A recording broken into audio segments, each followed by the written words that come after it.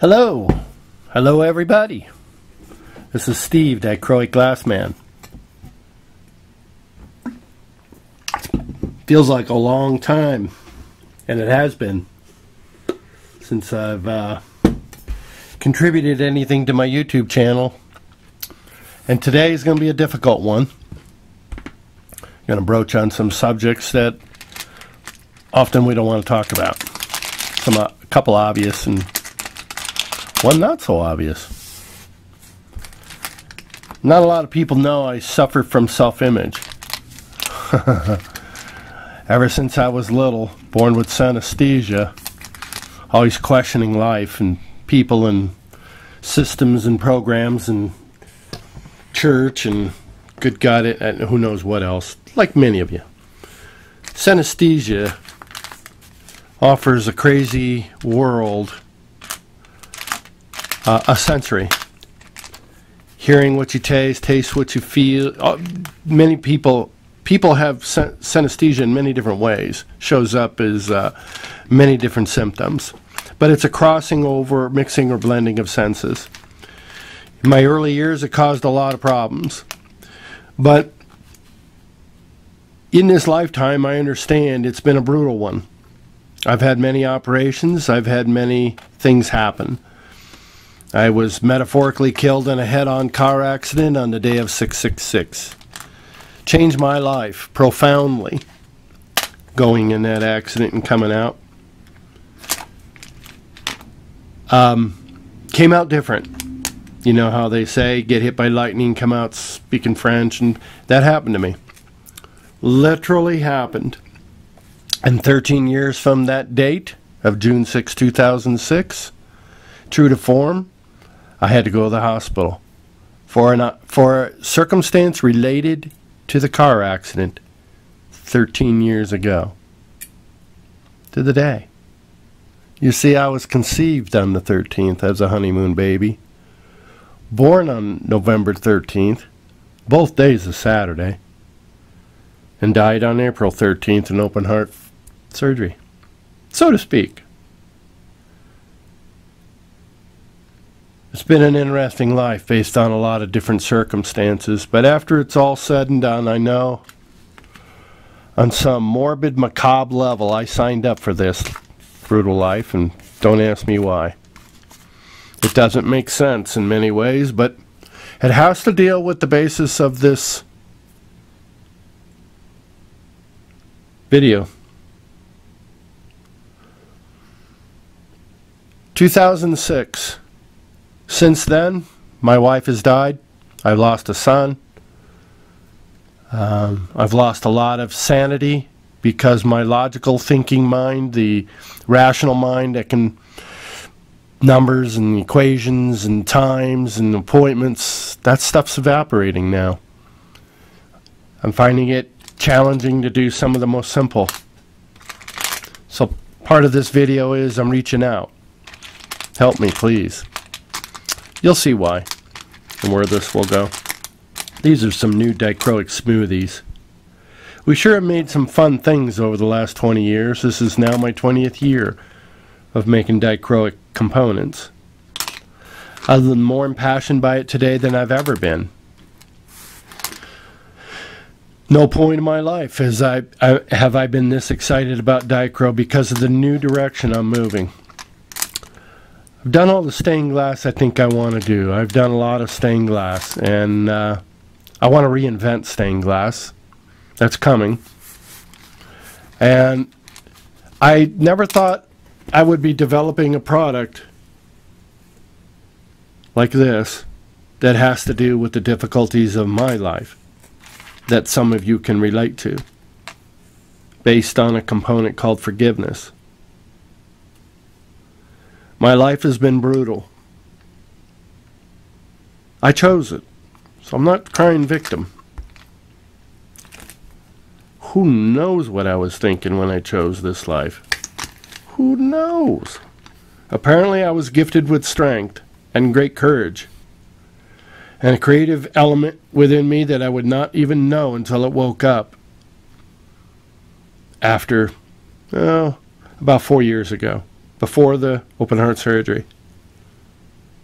I've had so many paradigm shifts. I started writing them down and thus and thus. Like some of you, we all, some of us have journals. I've had an opportunity through all these events to really look at myself through all these events, and I, I ask God, why do I need to be so injured, God? Why do it? Why do all my body parts have to be cut on, operated on? External, by the way, folks. I have not had what some of you have endured. I've had operations, I've had stitches. Um, I've been told I have over a million dollars worth of physical scars on my body. It's been getting really tough, you all, and that's why I haven't been on. I've been so challenged that I thought I wouldn't be on here making this video. I've had oh, five instances where I thought I would die. Easy five within the last three years since open heart surgery. I'm not a coward. I know you didn't say that. I got up on day nine, drove myself home from the hospital, went to work eight days later. I didn't have anything to prove to anybody but myself that I could persevere this torturous life and do some good. And apparently, I've reached a lot of you. Hundreds, if not over a thousand people, have I talked to. And some of us are still here. You've been championing me along the way as a person that suffers from self image. I don't do this stuff to brag to you all. It's very hard to put some of these videos up. But if I don't, I feel like I'm cheating. Many of my videos are to sell a product. This is my only avenue of income, is glass. I don't make money on YouTube. It takes three and a half months to get a hundred dollar bill from YouTube. That's not my intentions. I've invested over 20,000 hours in my YouTube channel for free to have some people lambaste me and squawk and take my ideas and act like they invented them. That's human nature. Come on. Not harboring resentment. In fact, there's been many circumstances I could have done better in our, some of you all's transactions. There's still a couple people stalking me after, what, 10 years? 9 years? Um, maybe that's their only intention is to do harm before they leave this world, to somehow right wrong. I don't know. I will tell you, after my losses, yes, I saw, I saw life differently. Tortured in the outcome that I could have done better all my life. Well, let's say the last 13 years. My life changed on that car accident. I had to learn much of life over again. I went from one hemisphere of thought to the next. It was difficult learning life again, which has been one of the hardest things I've had to do in 13 years.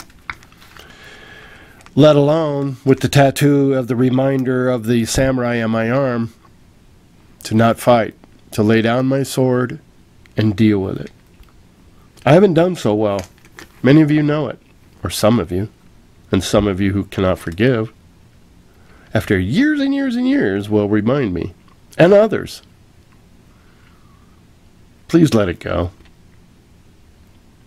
Contact me. Maybe there's something I can do to make up for it. Because I am going to invite you to another thought. In some cases, scar tissue is stronger than the original. I believe it. if we've had wounded relationships and we break bread and shake hands, I offer to say that those relationships are stronger. When you both have to come together and let go. I would like to say there's no person out there that I couldn't forgive. I would hope you would say the same about me. I could have said things better. I could have shipped things earlier. I could have, could have, should have, would have. I got many excuses that I could introduce here, some pretty darn legitimate. How would you like to be killed in a car wreck? The accident report said extreme head trauma. I shattered the windshield from the inside. 2,200 pounds per square inch. I shattered the windshield with my head with seatbelts on. Incredible accident. What's this all going to end up to? Because we let's let's wind this thing up. Let's get into the impact. I could talk days and videos and volumes of the injuries of life, but let's talk about what we're what what I'm holding in my hand and what all this means. In this tube, there's some pretty cool things. The dichro in some cases is so small that it could take an hour to settle a flake. And as you're fixated on perhaps the bigger pieces falling and tumbling, we forget about the little particles, which is a lot about like life is, isn't it? Stop and smell the flowers along the way, as they say. Well, in one of these tubes, starting tomorrow, I'll be putting an offering ashes. Because the idea is the stuff that my mother put me through, who's now in stage four, we've never had a relationship per se in our lives. There's nothing I can do about the fact that she doesn't want to live with me or die with me knowing. That's not anything I can do. How I handle it is everything I can do. And I, I'm going to need this tool of forgiveness in my hand, much like you are, once we continue to explore what's going to happen here. I'll be putting ashes and some things in here, starting the next model, because my mother's ashes will be in here. And if there is no mothers for you guys, I can tell you how you can go outside and start a fire and write some things down about your mom, your dad, or this or that, and put them in the fire and let it burn. And tell yourself, this is my act of forgiveness. And take those ashes and scoop them up and put them in. Send them to me. They're sacred. I don't know if they're real or not. It has no bearing to me. Send them to me. We're going to put them in here. Because as I depend on the light to illuminate all this, the same light that's going to illuminate this joy that it brings me to sparkle, the giddiness, the laughing. The kid in me wants to see these rainbows in the sun like all over.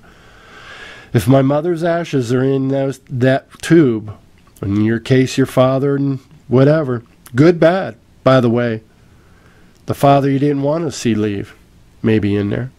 And as you hold this up in the light, the same light that illuminates the whole tube will be illuminating the ashes, whether we feel they were good or bad.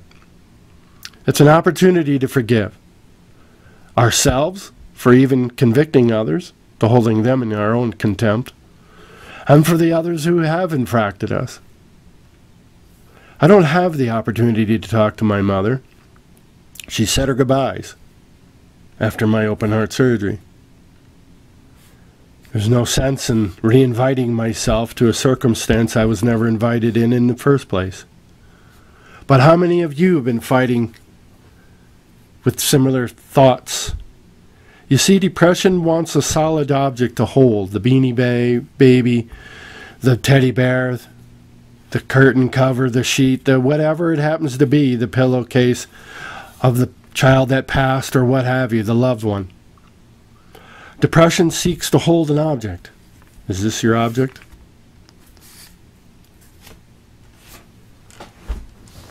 Let's turn off the light.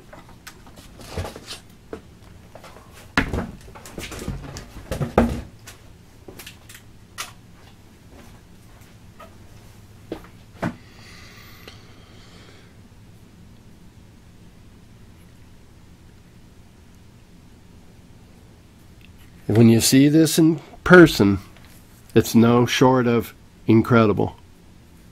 Watching these particles float down. Meditative? Mm hmm. Forgiveness? If you think about it.